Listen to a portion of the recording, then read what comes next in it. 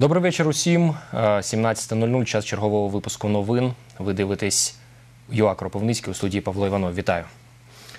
Через порив тепломережі підприємства теплоенергетик на вулиці Дворцова в Кропивницькому без тепла з 9 ранку залишилися дитячий садок номер 21, училище номер 14, бібліотека для юнацтва. Також без теплопостачання мешканці шести будинків на вулиці Шевченка, Шульгіних, Дворцова та Садовського. Про це повідомив керівник підприємства теплоенергетик Олександр Чельник. Коли відновлять теплопостачання, розповість Олена Демчак. Порив стався ось у цьому дворі на Дворцовій. О 12-й годині на місці аварії знаходився один працівник підприємства теплоенергетик Анатолій Катренко. Чекав на колег. Вони поїхали на тесі на теплопункт взяти сварщика, автоген, чи різак і це, і трубу. Бо тут не годиться цей кожух.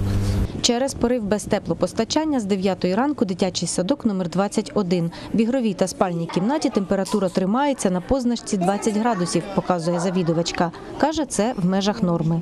Будівля нашого закладу старенька, е, цегляний будиночок, і во- він, як відомо, цегла дуже міцно тримає, добре тримає температуру теплу.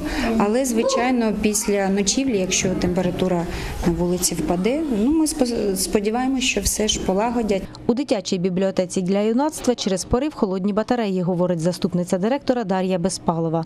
Каже, термометра немає, яка в приміщенні температура не знає. Зараз у бібліотеці нормальний температурний режим, тобто ми не відчуваємо відключення е, опалення. Але звісно, якщо на вулиці буде холодніше, то і бібліотекарі, працівники, а також користувачі, звісно, відчують це. Коли ліквідують порив, розповів директор теплоенергетика Олександр Чельник. Оскільки сама е, локація цього місця пориву е, обмежує використання техніки важкої землерини, тому зараз ведуться вручну розкопки цього місця руйнування теплової мережі. І після завершення відновлювальних робіт, я сподіваюся, ще до кінця сьогоднішнього дня, можливо, до 16 години, ми відновимо теплопостачання. Олена Демчак, Олександр Донцов. Новини. На момент виходу матеріалу в ефір Олександр Чельник повідомив нашій знімальній групі, що о 17-й годині теплопостачання відновлять. У Добровеличківці два десятки людей протестували біля приміщення районної державної адміністрації. У руках тримали плакати із закликами вирішити земельне питання. Далі пішли до офісу товариства Згода. Протестувальники розповіли, у 2006 році з товариством Згода заключили договори на 10 років. Термін їх дії мав скінчитися в 2016 році. Зареєстровані державним реєстратором документи були через два роки після підписання. Люди дізналися про існування додаткових угод оренди строком ще на 10 років, які вони не підписували. До протестувальників вийшов голова наглядової ради товариства Згода Віктор Соловчук. Детальніше розповімо у наступному випуску новин о 19-й.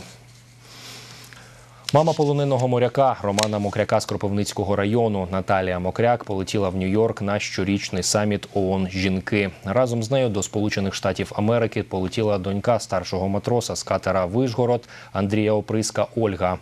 У середу має відбутися прес-конференція за їхньої участі. Повідомив речник постійного представництва України в ООН Олег Ніколенко. Про мету поїздки в Нью-Йорк телефоном нашій знімальній групі розповів батько полоненого моряка Андрія Артеменка знову українки.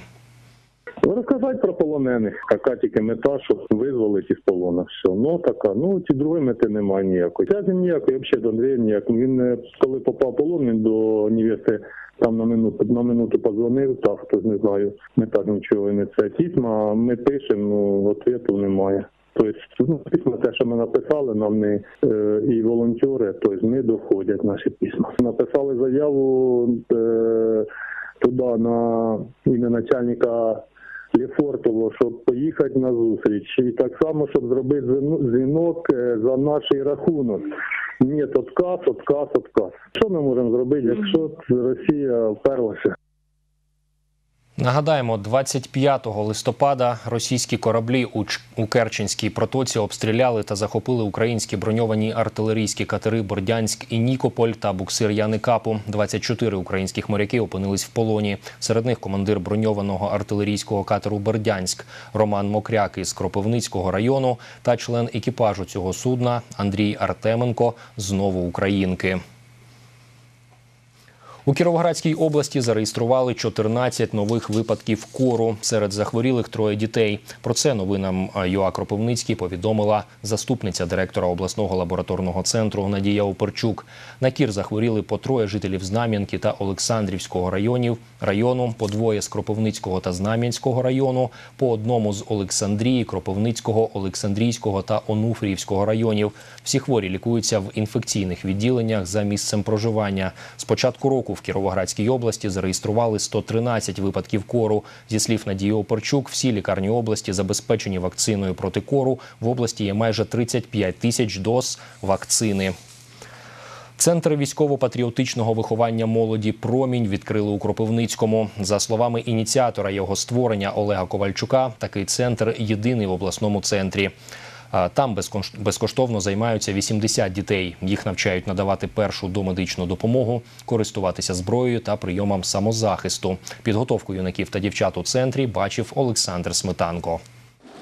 Ідея створити такий центр у Кропивницькому виникла у Олега Ковальчука 5 років тому. Тут облаштували чотири зали. Був проект створення е, спеціальної програми підготовки молоді, починаючи з школярів і вже закінчуючи більш дорослими, навіть е, 18+, які хотіли служити в збройних силах або в е, поліції, але не мали такої змоги.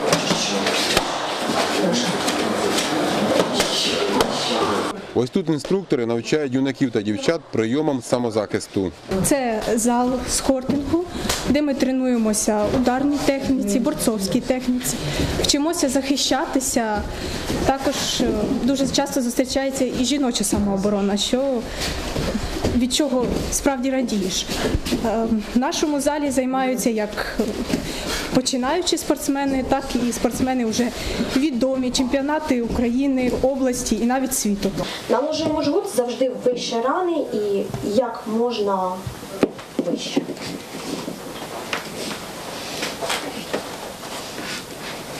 Обов'язково при наложенні жгута пишемо час і попускаємо кожні 20 хвилин. У цьому залі інструктори центру вчать надавати першу домедичну допомогу. Також навчають тактичній медицині. Перша домедична допомога це може при ну знадобитися в реальному житті. Даже навіть якщо йти по вулиці, там комусь потрібна допомога, це знадобиться. Тактична медицина теж дає багато можливостей, не тільки якщо там служити, можна е, їхати волонтерами, можна допомагати. Це теж знадобиться. У цій кімнаті відпрацьовують навики стрільби в умовах, максимально наближених до реальних, каже Олег Ковальчук. В цьому е, приміщенні воно якраз велике для того, що воно створено для того, щоб можна було працювати з малими групами, імітувати е, будівлю, наприклад, трьохкімнатну будівлю, коридори або інші е, криті приміщення, в яких можуть знаходитись злочинці, наприклад, або військові е, наші противники, яких треба вибити, нейтралізувати або знешкодити. У центрі військово-патріотичного виховання Промінь відкрили ось такий музей. У ньому знаходяться військова амуніція, спортивне обладнання і засоби маскування.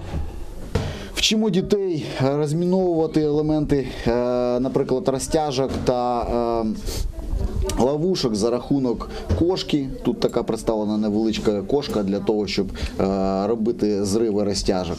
В принципі, вчимо дітей використовувати РПГшку. Ручний протитанковий гранатомет. Якраз тут і вчимо, як взводити, як використовувати на, на е, постріл РПГ-26 Аглень. І, в принципі, елементи, які в, якими він стріляє. Тут же теж представлені разом з е, вибухотехнікою. Олександр Сметанко, Роман Сташенко. Новини. Наразі це всі новини міста та області. Наступний випуск чекайте в ефірі о 19-й. В студії для вас працював Павло Іванов. На все добре.